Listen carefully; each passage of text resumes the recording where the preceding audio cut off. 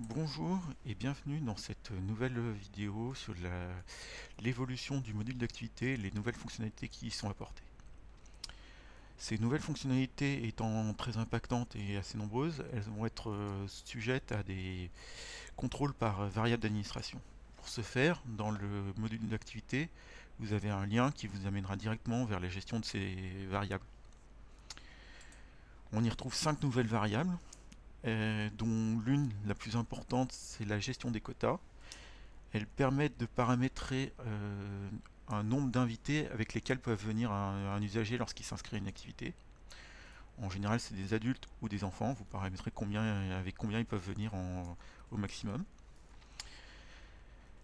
Les trois suivantes sont un peu liées. C'est la fonctionnalité du mail de rappel pour avertir le début d'une le début d'une activité pour les usagers. Le premier paramètre, c'est le délai qui va vous permettre de définir à partir de quand, avant la date de début de l'activité, les mails sont envoyés. Ensuite, vous aurez le sujet et le corps du, mail qui sont paramétrables euh, comme dans d'autres mails de portail euh, avec des basés sur des sur les objets eux-mêmes sur donc sur la session d'activité ici on récupère son libellé ou sur le nom du participant, on récupère son nom complet. La dernière variable d'administration, elle vous permet d'ouvrir les sessions d'activité à tout le monde et de bypasser les droits, de, les, droits classiques de, de, suivre une activité. Les droits de suivre une activité, on les retrouve dans les groupes d'utilisateurs. On a maintenant trois rôle de, sur les, activités. L'un, c'est celui de diriger une activité, c'est pour les intervenants.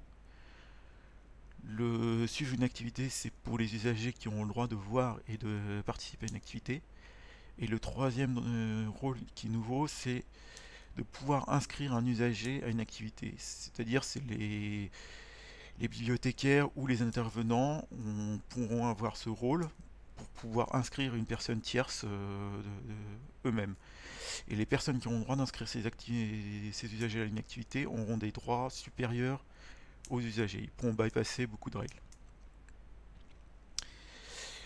L'envoi d'email euh, se gère par un batch. Donc on le retrouve dans la liste des batchs ici.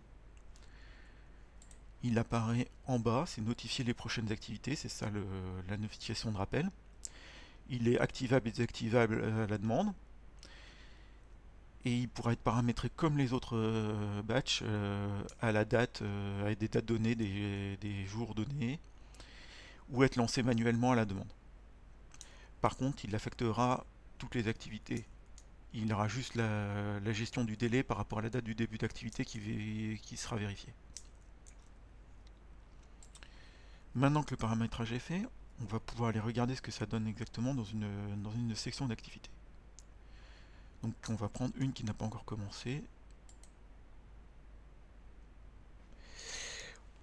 Ici, dans l'onglet session, il y a eu quelques changements. Maintenant, une euh, date d'activité, c'est sur une plage donnée, donc euh, on a une date de début et de fin. Et on peut la définir plus précisément en désactivant cette case à cocher. Ce ne sera plus une journée complète, mais on pourra définir des horaires, euh, des horaires plus précis. La date d'inscription, elle a changé. Maintenant, elle a une date de début et une date de fin, ce qui vous permet de définir une plage pendant laquelle les, les usagers pourront s'inscrire. avant la date de début, ils ne pourront pas. Après la date de fin, ils ne pourront plus ces données-là ne sont pas obligatoires. si la, la date de début n'est pas définie, par défaut, ce sera la date de publication de l'article et, quand il sera visible du côté front. Et la date de fin, par défaut, elle sera égale à la date de début de l'activité. Le dernier lien nouveau qu'on voit ici, c'est ouvrir à tous les utilisateurs. Donc c'est une case à cocher qui apparaît parce qu'on a coché le, dans les variables d'administration euh, permettent de l'activer pour tout le monde, et donc de bypasser les droits des usagers. Comme c'est une case à cocher par session d'activité, on pourra le gérer par session. Euh, toutes les sessions ne seront pas forcément ouvertes à, tous les usagers, on pourra définir lesquelles le seront ou lesquelles ne seront pas. La variable d'administration ne fait juste apparaître ce lien ou pas. Le plus gros changement, il se retrouve ici dans les effectifs qui apparaissent si jamais on a coché la, variable d'administration euh, gestion par quota. On va beaucoup changer le paramétrage des, des quotas. Maintenant, on peut gérer de façon plus précise le nombre d'adultes minimum, maximum, le nombre d'enfants minimum et maximum, et le maximum possible par inscription pour un usager pour ne pas qu'un usager puisse récupérer toutes les places en une seule inscription. Quand on définit des enfants, on va obliger à aussi renseigner une date, euh, leur âge. Le minimum n'étant pas obligatoire, mais le maximum, lui, il le sera, pour définir à partir de quand on considérera que c'est un adulte ou un enfant. Un des autres ajouts, ça a été un changement de la, hum, gestion des usagers, la, façon de les retrouver grâce à des critères de sélection plus précis et un écran de recherche plus, plus standard pour l'admin du portail. On peut donc faire des recherches plus précises en paramétrant nos, critères, la bibliothèque, le niveau d'accès, donc c'est les rôles. Le nom si on, ou l'email, euh, c'est une recherche globale ici sur tous les champs qui sont qu'on retrouve ici, on peut faire une recherche dessus. Et un, nouveau critère qui vous permet de rechercher ceux qui sont inscrits à la session, ceux qui ne le sont pas encore, ou tous. Pour l'instant, je n'ai que deux personnes inscrites. Et comme j'ai des droits supérieurs, j'ai le droit de manager leurs inscriptions, j'ai un, un icône de modification d'inscription qui me permet donc d'ouvrir une pop-up où je vais pouvoir gérer leur, euh, les inscriptions pour cet usager. Donc je vais lui mettre deux adultes. Et on le voit apparaître. Maintenant que l'activité a été paramétrée, on va pouvoir aller voir du côté front les changements que ça va faire apparaître pour l'usager. On a fait apparaître euh, sur la page d'accueil nos activités et on voit celles que j'ai paramétrées ici. On voit quelques informations donc, sur la bibliothèque, où se fera l'activité, la date de début. Mais si on veut avoir plus de précision, il faut cliquer sur le lien du détail qui va nous envoyer donc sur une page d'activité de, son article.